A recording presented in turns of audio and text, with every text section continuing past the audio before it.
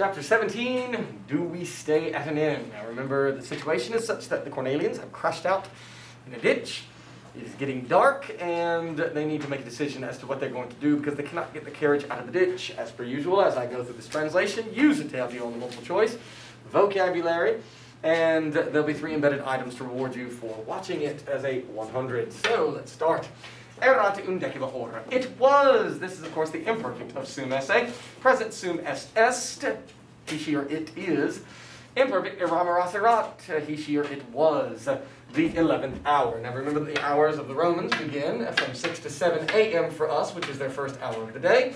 So to go to 11 would be 7, 8, 9, 10, 11, 12, 1, 2, 3, 4, 5 p.m. is what we would call it. They call it the 11th hour.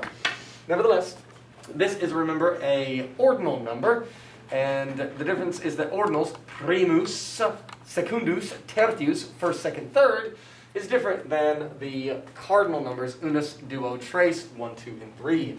The minivan, the Raeda, was still a hook remaining in the ditch in Pleasant It was just in because the coachman, the guy who drives the minivan, so if a Raeda is the minivan, Raedarius is the minivan driver, was not able to move it.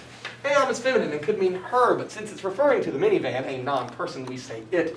Poterat is nothing more than erat with POT on the front. This is, of course, coming from the verb that is nothing more than sum esse with POT on the front of it.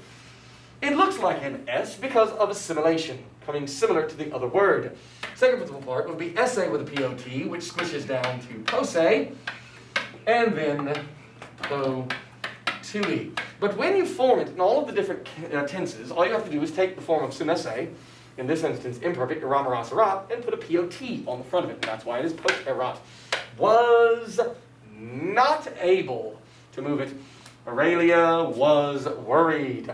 Cornelia was crying, lacrimo lacrimare, and even the boys were now fearing dangers.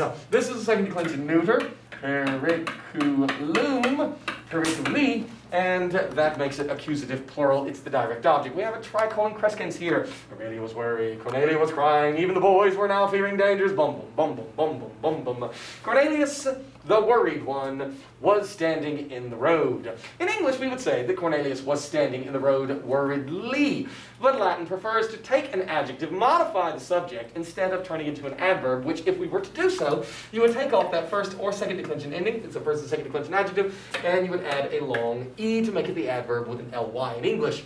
If it were a third declension adjective, you would, of course, have added the E pair. celer, quick, celeriter, quickly.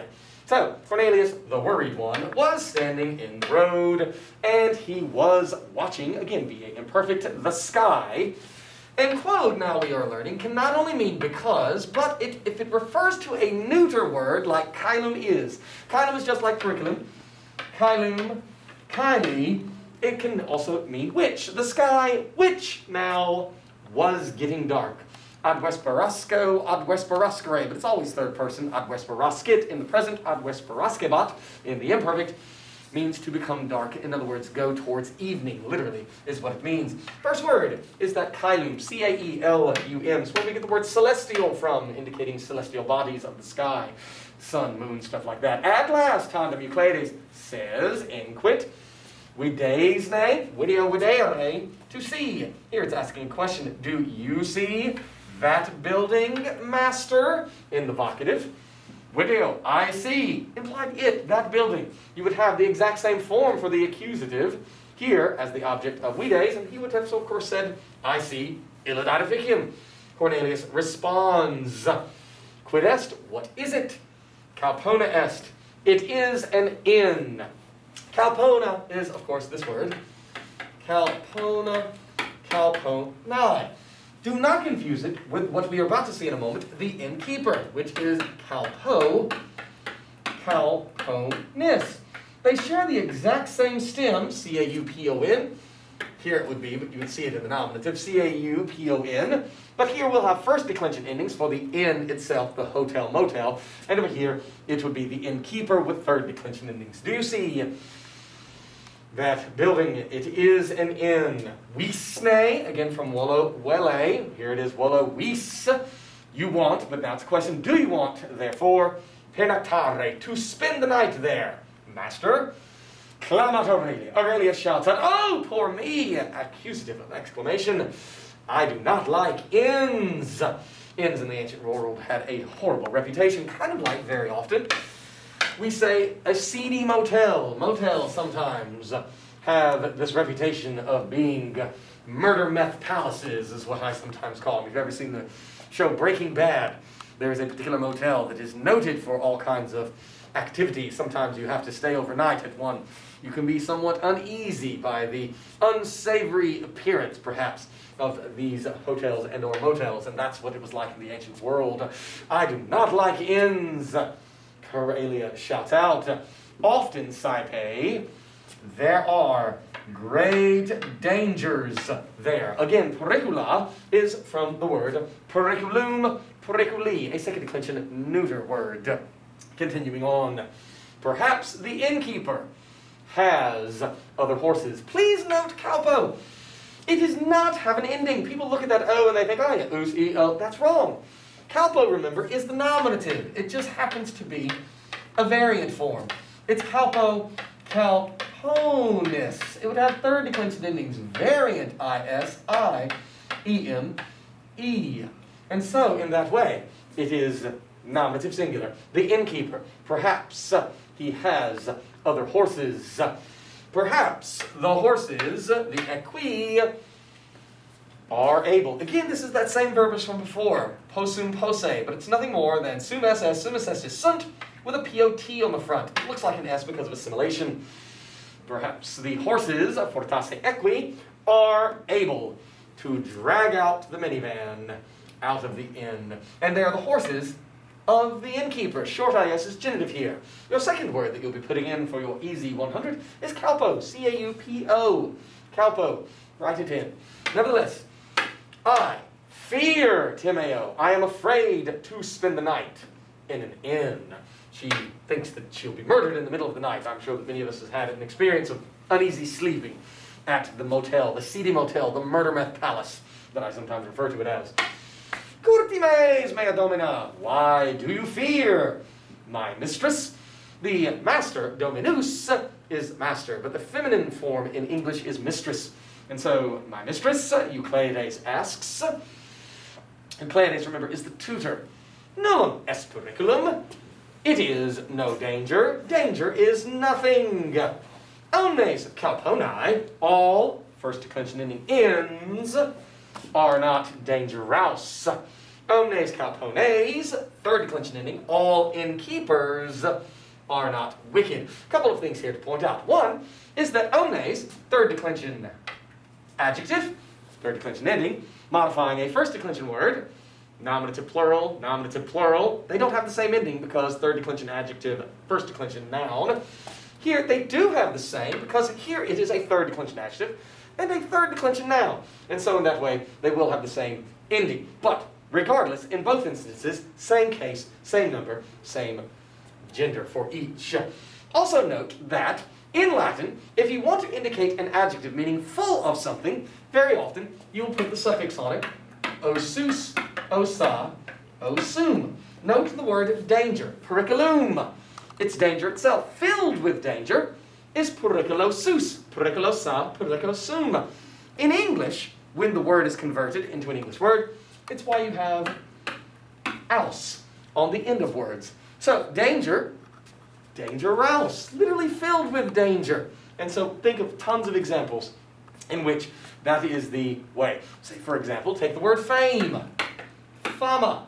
So what does the Latin word mean? Filled with fame? Famosus, famosa, famosum. And so why we then say fame famous. Osus turns into that house. And that's your next word. Periculosi. P-E-R-I-C-U-L-O-S a-E. That is your third word. There's going to be five probably total. So he says, all inns are not dangerous. All innkeepers are not wicked. Ille caupo, that innkeeper, again nominative, is my friend. Remember, all linking verbs are equal signs. So you're going to have nominative on both sides. Nominative there, nominative there. And so that innkeeper is my friend. He is Greek, Graecus est, and a good man. One of the reasons why Euclides knows him is that because Euclides himself is Greek. Tum Aurelia. Now, this is when, of course, the true reasons of Aurelia not wanting to stay at the inn. It's not really that she is, of course, scared. It's because she is snooty and thinks she's better than that. Snooty voice, Cornelius is a Roman senator. Roman senators do not spend the night, non pernoctant, in inns. So where would they spend the night?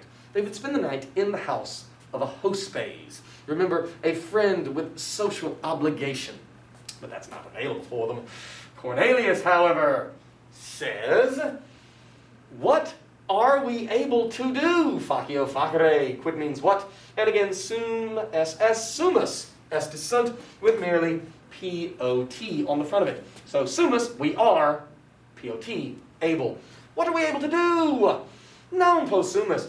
We are not able, pernoctare, to spend the night here in the Appian Way, in the Via Appia. Remember that if ever you see H-I-C with a short I, it means this. But H long I-C is going to mean here. This is in this watch, this pen. Heek is here. So we are not able to spend the night here in the Appian Way. Your next word, your fourth word, possumus. P O S S U M U S. Go ahead and put it in. Now, why can not spend the night in the road, in the Appian Way? That's when the real robbers and the real highwaymen. That is a term that we use for people who obviously roam the roads because obviously out in the roads you're stranded. There is no help. And that's where they get you at your vulnerable and are able to rob you. No vehicula. No vehicles, neuter plural nominative, now are appearing present tense because present tense it is getting dark.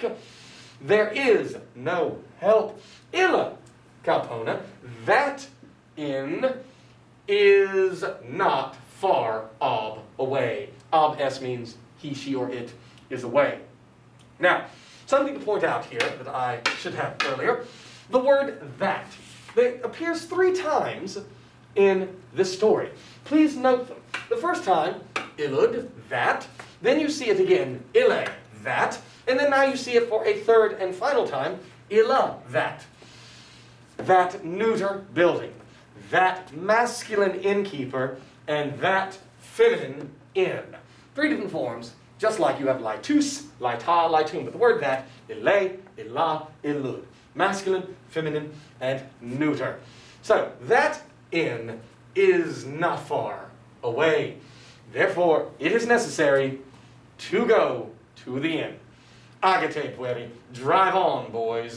Plural command, plural imperative, as it were. Therefore, while Euclides led was leading ducebat, the many people named Cornelius, that's the family name of the family, the Cornelians, towards the inn, the raedarius Solus, the coachman remained alone in the road. He was guarding custodio custodire, a new word of this chapter, where we get the word custody, obviously, the carriage and the horses. Now, before I show you your last word, I'd like to point something out about the verb ad vesperascit. Whenever a verb has the letters SC before the O, sco, scere, this is what we call an inceptive verb or an inceptive action. Inceptive. And an inceptive verb or an inceptive action is an action that implies an instantaneous beginning that doesn't then continue on. For example, one of the most famous inceptive verbs is the verb to be born, to pop out the womb. And that, of course, and its deponent, you don't need to know about that. But nascor, don't worry about the R. Nasci, don't worry about the weird form. It, instead of having an E-R-E, it's of course an I. But as you can imagine, once you pop out the womb, once you are born, you cannot then continuously be born. Likewise, once it starts getting dark, it doesn't continue to start getting dark. And so, because of the nature of what the verb is implying, It is what we call an inceptive. And you can recognize inceptive verbs by that SC. Sco, scere. Nasco, nascere, if it weren't deponent. Don't worry about it. But nevertheless, here it is. Ad vesperasco, ad indicating the start of something. Your last word is manebat. Right here. M A N E B A T. He was remaining in the road. Manebat. That's what you write down in the Latin. He was guarding the carriage and the horses. So, study, learn your words, learn the content, and get better every day.